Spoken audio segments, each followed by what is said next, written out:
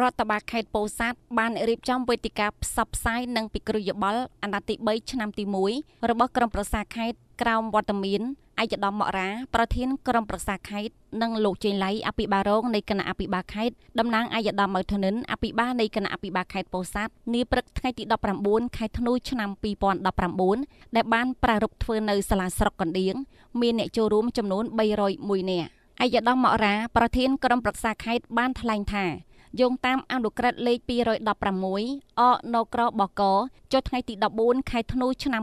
2009ត្រង់មាត្រាទី9បានចែងថាក្នុងអំឡុងត្រីមាសទី4នៃឆ្នាំនីមួយៗក្រមប្រឹក្សាខេត្តត្រូវតែរៀបចំវេទិកានេះឡើង ដើម្បីបង្ហាញពីសកម្មភាពនិងការអភិវឌ្ឍលើគ្រប់វិស័យរបស់ក្រមប្រឹក្សានិងផ្សព្វផ្សាយជូនប្រជាពលរដ្ឋព្រមទាំងទទួលយកនៅគម្រោងដែលមូលដ្ឋានបានសំណូមពរនិងស្នើសុំអភិវឌ្ឍបន្ត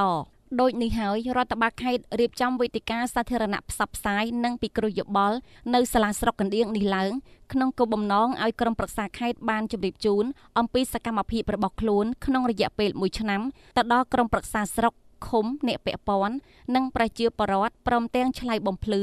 ដោះស្រាយបញ្ហាប្រឈមស្របទៅតាមសំណើនិងសំណុំពរនានាដែលអ្នកចូលរួមតំណាងឲ្យប្រជាពលរដ្ឋ បានផ្ដល់មតិយោបល់ដល់កិច្ចដំណើរការកំណែតម្រង់ការអភិវឌ្ឍតាមបែបប្រជាធិបតេយ្យនៅថ្នាក់ក្រោមជាតិឯកឧត្តមបានលើកឡើងទៀតថាសមាជិកសមាជិកាវេទិកាជាតំណាងឲ្យប្រជាពលរដ្ឋត្រូវចាប់អារម្មណ៍បញ្ហាគន្លឹះសំខាន់សំខាន់របស់ក្រុមប្រឹក្សាខេត្តសម្រាប់បានកន្លងមកនិងបញ្ហាប្រឈមនានានិងទទួលយកអនុសាសន៍និងសំណុំពរមូលដ្ឋានតាក់ទងទៅនឹងការផ្តល់សេវាសាធារណៈដោយចាត់ទុកថា ប្រជាពលរដ្ឋគឺជាកញ្ចក់សម្រាប់ឆ្លុះបញ្ចាំងការបំពេញភារកិច្ចរបស់មន្ត្រីរាជការនៅថ្នាក់ក្រោមជាតិដើម្បីពិភាក្សានិងឆ្លើយតបឲ្យបានទាន់ពេលវេលាចំពោះវាគ្មិនតំណាងមន្ទីរអង្គភាពត្រូវតែទទួលយកនិងដោះស្រាយនៅសំណើនិងសំណុំពររបស់មូលដ្ឋានត្រូវខិតខំពង្រីកពង្រឹងស្មារតីសាមគ្គីលើកកម្ពស់ គណនេយ្យភាពតម្លាភាព និងទទួលខុសត្រូវក្នុងការបំពេញភារកិច្ចដោយប្រកាន់ខ្ជាប់នូវគុណធម៌សិលធម៌មនសិការវិជ្ជាជីវៈភាពស្អាតស្អំជាទំនុកចិត្តនិងភាពកក់ក្ដៅរបស់ប្រជាពលរដ្ឋជាមួយគ្នានោះត្រូវយល់ដឹងនិងលុបបំបាត់អំពើពុករលួយផ្លាស់ប្តូរអរិយាប័ត្រពីមន្ត្រីទៅជាអ្នកបម្រើសេវា ដើម្បីឆ្លើយតបទៅនឹងការចង់បានរបស់ប្រជាពលរដ្ឋត្រូវចាត់ទុកថា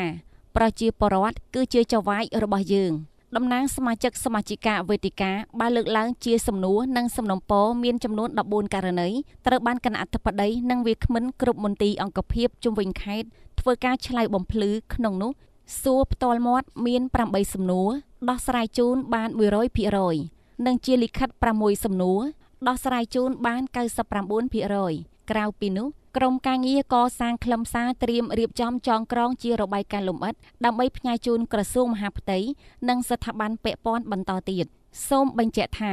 នៅក្នុងវេទិកានោះបានរកឃើញអំពីទុកកង្វល់របស់ប្រជាពលរដ្ឋលើវិស័យធនធានទឹក សាធារណការសន្តិសុខពាណិជ្ជកម្មនិងរដ្ឋបាលស្រុកកណ្ដៀង។